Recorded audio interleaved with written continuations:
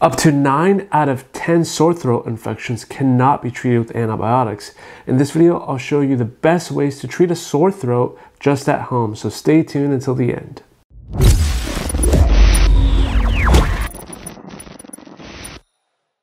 If you have a sore throat right now and watching this video for the tips, I'm to make this part fast so we can jump straight to it. A sore throat refers to any pain, itchiness, or irritation of the throat. Throat pain is the most primary symptom people experience. It often gets worse when you try to swallow and you may even have difficulty swallowing foods and drinks. If that's you right now, you definitely want to try out some of these tips. Sore throats are usually caused by a viral infection and can last up to 5 to 7 days and doesn't require medical treatment. But if you do notice throat pain that is severe and not improving, you have trouble swallowing or breathing, a high fever, coughing up blood, have enlarged lymph nodes, or have white patches at the back of your throat, these are all the signs that you should see a doctor. But most cases can be treated at home. So let's begin. Number one, gargle with some salt water. The Mayo Clinic recommends combining one fourth to one half teaspoon of table salt with four to eight ounces of warm water. You want to stir it until the salt dissolves. Then gargle it for five to 10 seconds and spit it out. Repeat the salt gargle several times each day until you find that relief. If that doesn't work,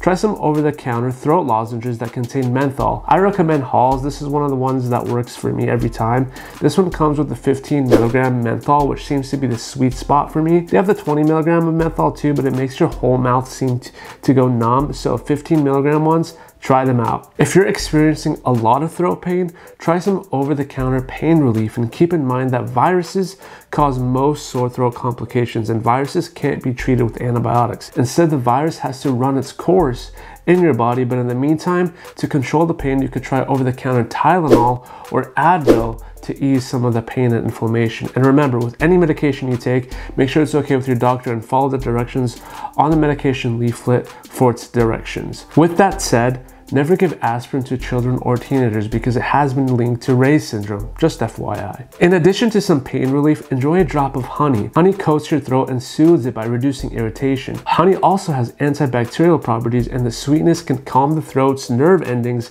and reduce coughing. Warm tea that is sweetened with honey can help soothe your irritated throat. Tea also keeps you hydrated, which is another important step in treating a sore throat. Click here to see a video I made with all the great benefits of honey. The next tip I have is to get plenty of rest and stay hydrated. Don't underestimate physically resting your body and your voice too. Just make sure that you elevate the bed and sit propped up in a chair as lying flat can sometimes cause swelling due to the increased pressure at the back of the throat. Also, when you're dehydrated, your body can't produce enough saliva and mucus to keep your throat naturally lubricated. This will make the swelling and inflammation worse. Same thing goes with alcohol and excess caffeine. These can be drying on your throat, so make sure you're hydrated with enough water, guys. Lastly, if you have a humidifier laying around the house, house and it's not in use, plug it in and turn on a cool mist to increase the amount of moisture in your room. Links in the description if you want to check out a humidifier that I highly recommend. And if you don't have a humidifier, that's perfectly fine too, since you can still get relief from moist air.